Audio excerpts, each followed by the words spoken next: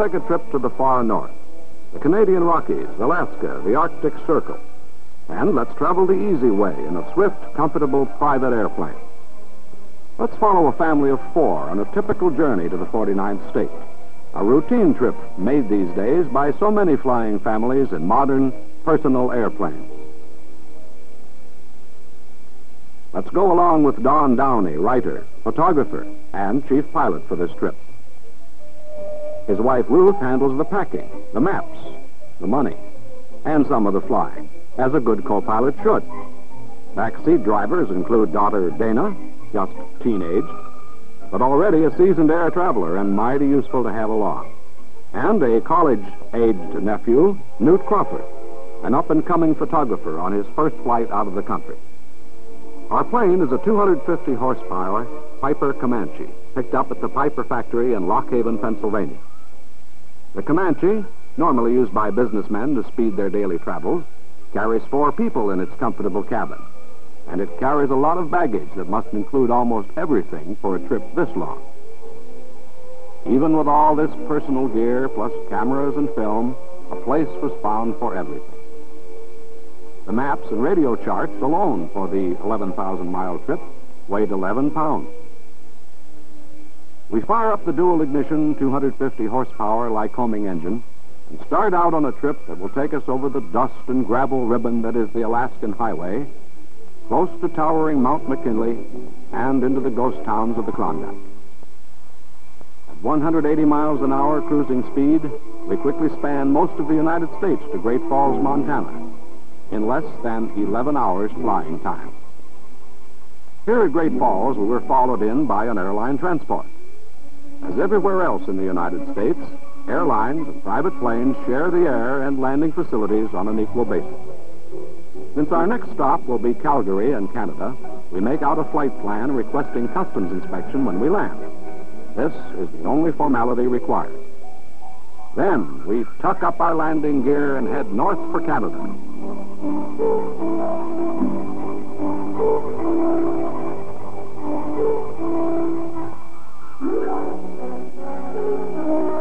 Cross-country flight in a personal aircraft is usually flown at that comfortable middle level where you can really see the country. Not at seven or eight miles high where the scenery falls away to a tiny checkerboard. First stop in Canada on our northern flight is the busy, expanding city of Calgary. After landing at Calgary's jet-sized international airport, we find that Canadian customs are fast, efficient, simple. No passport, no visas, no vaccination, and no language problem. However, the flight to Alaska does differ a bit from the normal cross-country trip. It takes the traveler a long distance into the boondocks, and a survival kit is just good sense. Roy Moore of Trans Aircraft Company at Calgary shows what's inside a typical emergency kit. Canned food, fishing gear, a compass, and signaling mirror. While this hat will win no prizes in the Easter parade, it's a must for protection against the swarms of mosquitoes on the ground. From Calgary, it's merely a short hop to the picturesque Canadian Rockies at Banff and Lake Louise. Obviously, this area is a wildlife sanctuary, and the tourist brochure specifically states that park regulations prohibit the feeding or petting of wild animals. Apparently, the animals haven't read the regulations. From Calgary, our route continues north-northwest to Edmonton, a short hop of only 175 miles. One great advantage of the personal aircraft, you can make your own schedule. Take off when you want to, govern the length of each flight to your own personal desire. You're entirely your own boss. Modern radio aids make everything so simple. With the automatic direction finder, you merely tune to a station up ahead and then follow the needle. Hard work, this flying with the automatic pilot in operation. Try this in your car at 180 miles an hour. We prepare to land at Edmonton, top off our fuel tank. Canadian weathermen are called climatologists, and the traffic pattern is a circuit. We fill all four tanks before heading into the backcountry. A total of 90 gallons will take us over 1,100 miles without refueling. A standard Comanche with extra fuel tanks established the world's non-stop distance record of 7,668 miles from North Africa to Los Angeles. From Edmonton, it's over the paved highway to Dawson Creek, with a rainbow or two tossed in to enhance the view. Here at Dawson Creek is the real beginning of the Alcan, the Alaskan Highway. Everything is measured along the road from here at mile post zero. We continue northwestward along the highway and pass Fort St. John with its lighted 6,700 foot hard surfaced runway. Just a few miles further up the highway, the visitor sees smaller dirt flight strips that become increasingly common as we fly into the bush country.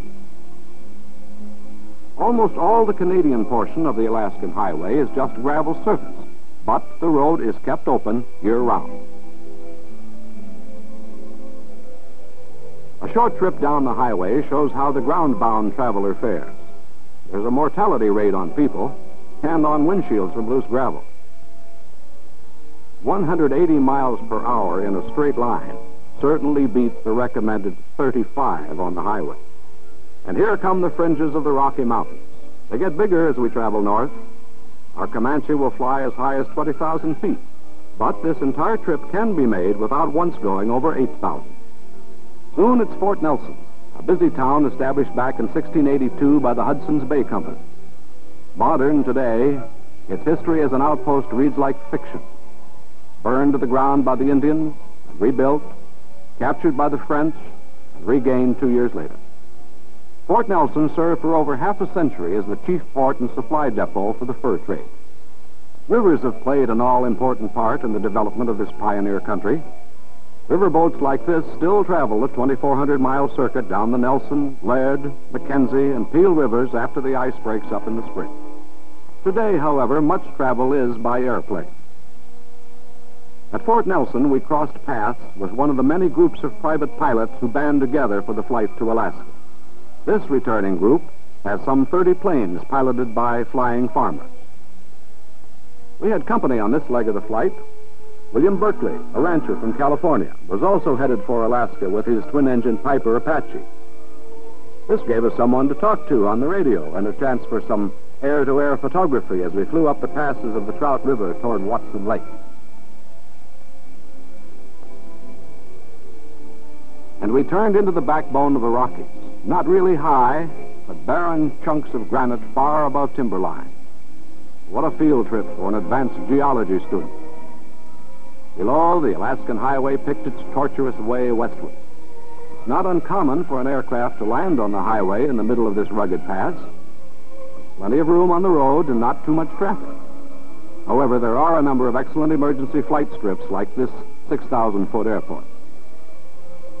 Next stop is Watson Lake, one of the most picturesque airports ever constructed, built in conjunction with the Alaskan Highway. This fine airport has full radio and teletype communications, weather briefing by the Canadian Department of Transport, airline service, fuel, and a coffee shop on the field, just as does Fort Nelson. Here, the terminal is built of logs. As the transport plane heads out, we prepare to take off for Teslin, mile 804 on the Alaskan Highway. Fifty minutes later, we were circling the Lake of the Long Water, as the Indians have translated the name Teslin. Here is a lake 90 miles long, perhaps three and a half miles wide, with some of the best fishing in the world. Over 100 Indians live in log houses on the promontory overlooking the lake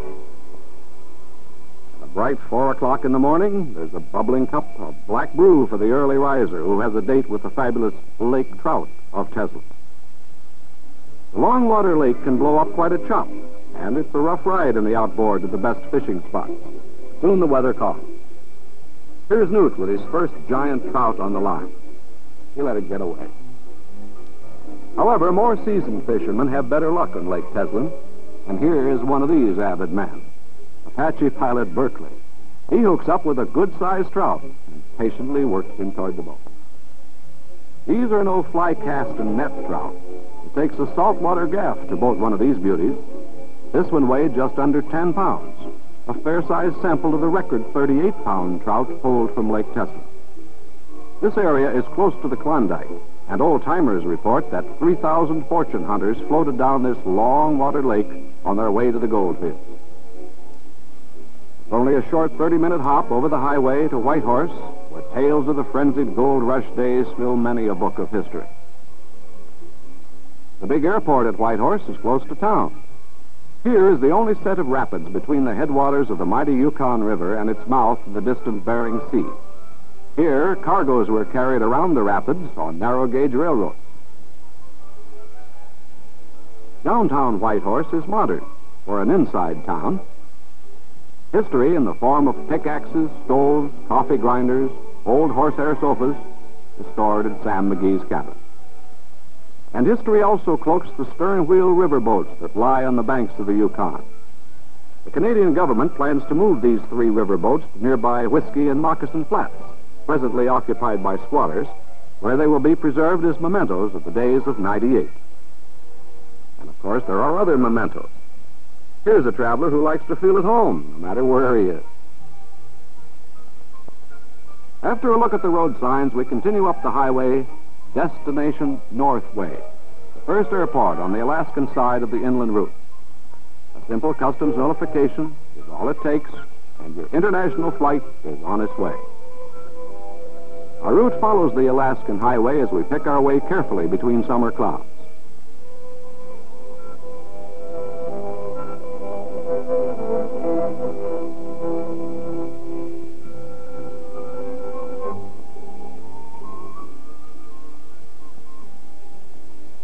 Time zones change quickly in this far north country, with Anchorage on the same clock setting as Hawaii.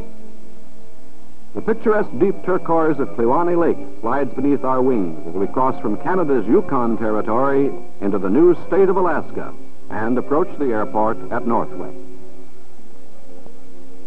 Perhaps the first airport, motel, and cafe combination along the entire route has been constructed here at Northway, where the visitor is really a long way out in the back country. 50 miles from the nearest high school, 100 miles from the nearest doctor, but never far from the ever-present moose antlers, sometimes called Alaska's hatrick. Here's an Alaskan husky, one of a group used at Northway in the winter. Northway frequently competes with nearby Snag in Canada as the coldest spot in the North American continent. We have only one more hop to Anchorage by way of Tok Junction, the Glenn Highway, and passing over the famous Copper River region.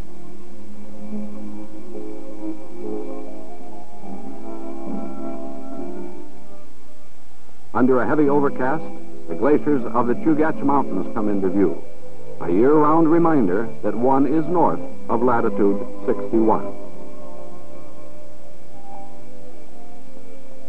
This is the Nelchina Glacier on the entrance to the coastal plain. But soon we're out of the mountains and over the farms of Palmer in the Matanuska Valley, the largest agricultural area in Alaska. Here in 1935 migrated some 200 families. Now there are more than 3,000 settlers in the area. It's just 40 miles more to Anchorage, our immediate goal in Alaska, so we check the airport directory, tune in the Anchorage Omni Range, and start our left down. Anchorage is a truly modern, air-minded city. Here, within a radius of five miles, are five major airports, all with control towers. Merrill Field handles everything from a four-engine executive plane to the smallest trainer. On the waterfront approaching Anchorage is a recently completed deep water shipping berth for ocean-going vessels, despite the 30 to 36-foot tides that prevail in the area. At low tide, many a fishing boat lies high and almost dry.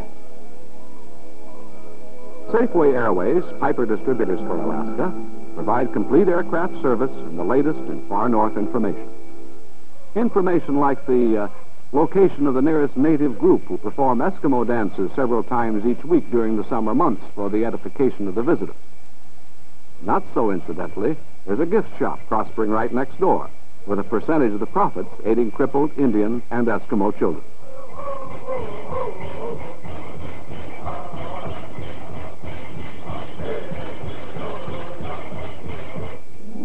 The Twin Lakes of Hood and Spenard serve as home base for more seaplanes than any other place in the world. Over 400, and a waiting list for more. Some of these seaplanes are owned by bush pilots, many by private owners who use them to get away from it all on weekends to hide away hunting and fishing cabins. Let's join an Alaskan bush pilot with his Super Cub on floats and travel to what might well be the eighth wonder of the world, a natural lake formed by the backwash of a glacier. Each year, Lake George near Anchorage is formed by ice from the Knik Glacier. Pressure increases until the water breaks through the tongue of the natural glacier dam and surges down the river with tremendous force. A landing on Lake George provides a closer look.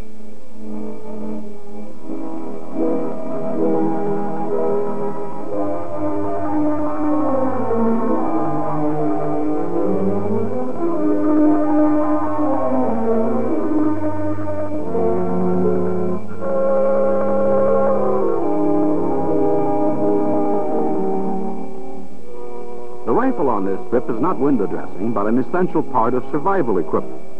Number of brown bear, not noted for their amiability, were visible on the hillside. Soon we're back in the traffic pattern at Lake Hood Lake Spenard. Their control tower clears us to land. Another type of Alaskan bush pilot is Don Sheldon, who operates from Talkeetna, 80 miles north of Anchorage on the banks of the Susitna River. Yellow oxygen bottles go atop the load. Like most other bush pilots, Sheldon has a particular specialty. Some pilots prefer float planes to ferry hunters to otherwise inaccessible spots for bear, mountain sheep, and goat, caribou, and moose.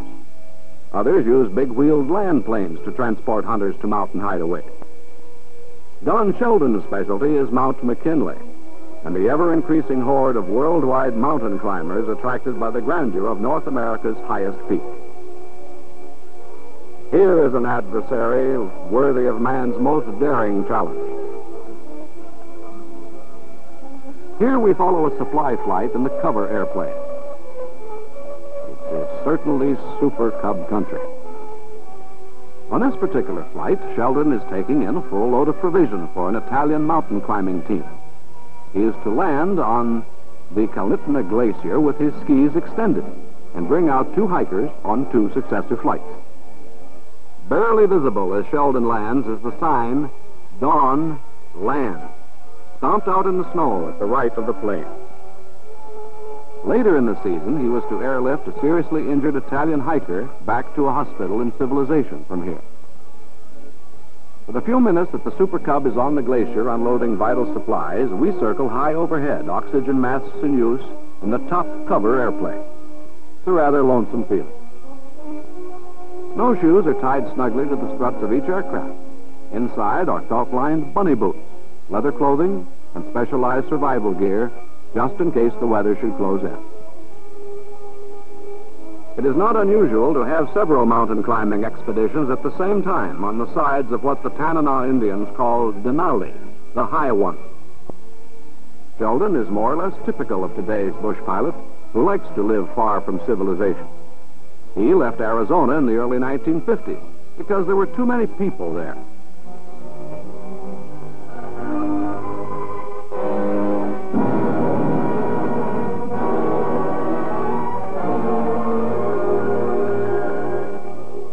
Here is nature's own ice cream sundae. But there's no big red maraschino cherry on top of this largest North American snow cone.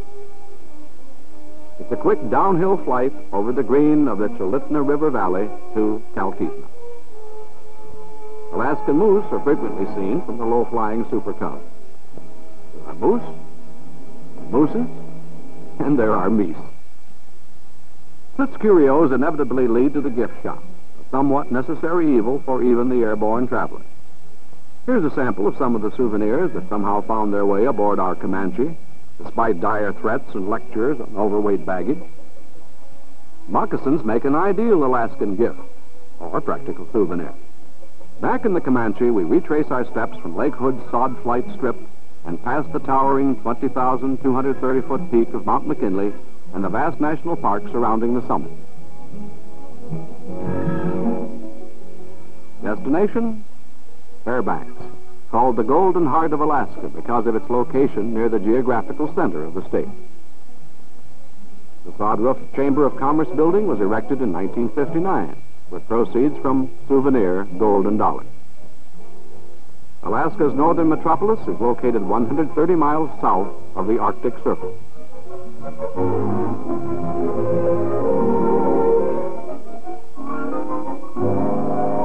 There's a riverboat excursion aboard the Discovery for the tourists. During this visit, the excursion boat was Alaska's only passenger stern wheeler and took visitors on a four-hour, 25-mile trip each afternoon during the summer. Fairbanks is also the location of the farthest north institution of higher learning, the University of Alaska. Internationally renowned as a geophysical institute and center of Arctic research, the university is fully accredited and dates back to 1915. No trip to the far north is really complete without a look north of the Arctic Circle. Let's fly to Fort Yukon, where the temperature has ranged from a record 78 below zero to 100 above. By plane, this is a simple trip, though occasionally a lonesome experience. Here, the Yukon River is almost three miles wide. Today, there's a well-lighted, mile-long, all-weather airport. This town was established by the Hudson's Bay Company in 1847 and became a river port for stern wheelers en route from St. Michael's in the Bering Sea to the gold rush town of Dawson City. Fish wheels along the river are legal only for Indians and Eskimos. Here, a member of the Athabascan tribe checks the day's catch. So far, it's only a single fish. Here we can see the muscles of the mighty Yukon with currents up to 18 knots. The log cabins in this town are for real, not tourist attractions. When these pictures were taken, Fort Yukon was a town without a hotel, motel, or cafe. Yet, permanent buildings still have the moose antlers. And for the tourist, this sign proves it all. Next is a short hop to Arctic Hot Springs, upriver from Fort Yukon.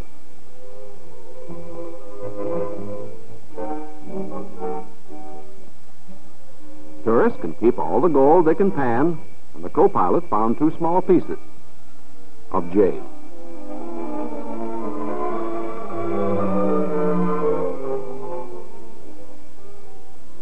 Water piped from hot underground springs produces some of the best vegetables in Alaska.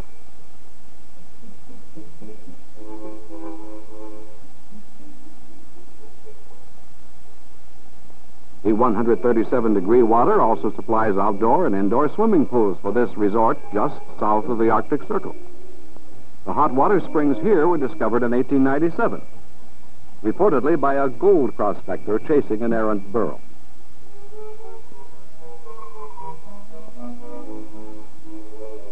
This is truly the land of the midnight sun. Heading back toward home, we follow the Yukon River to Dawson City. Top of broken clouds, the weather was smooth and beautiful. Clouds whipping by gave a real indication of our three miles per minute cruising speed. This was undoubtedly the most lonesome leg of the entire trip. There's nothing to follow but the mighty Yukon till you're back in Canada and see Dawson City. Like a big town from the air, doesn't it? During the gold rush, an estimated 40,000 people swarmed through the Klondike. Today, it's different.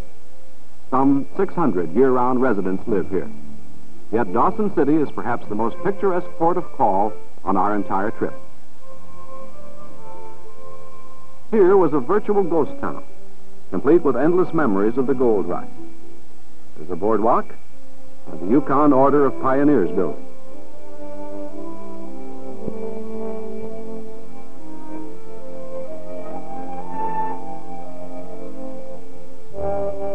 fronts were open, yet merchandise had not been stolen nor property vandalized. May it remain ever thus. Here are golden legends and traditions of over half a century in a town where Alex Pantages, Tex Rickard, and Jack London star.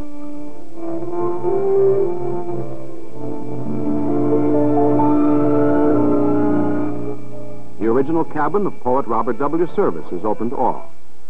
The shooting of Dan McGrew, the cremation of Sam McGee, and the spell of the Yukon came from this cabin. Here he wrote the words, I wanted gold, and I sought it. Nearby, a gold dredge was in operation, a final reminder of a long era of placer mining. Some passengers collected rocks. Iron pyrite in small pieces has somehow found its way into our excess baggage. Memories of gold rush transportation systems may be found in Dawson City. Tiny narrow gauge steam engines that once hauled ore and supplies in the area. More modern transportation can be found in this huge lumbering experimental snowmobile developed by the United States Army Transportation Corps. Parked for the summer at Dawson City Airport, it awaited the Yukon's rigorous winter weather for further evaluation. Imagine changing one of these tires. It's back in the air and we head for home.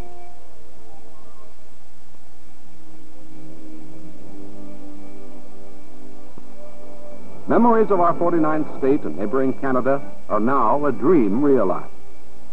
A dream of rugged mountains, placid waters, mighty rivers, picturesque natives, a sportsman's paradise, and a modern metropolis. Alaska. Beautiful, fascinating. And yet so easy to reach when you have your own swift wing.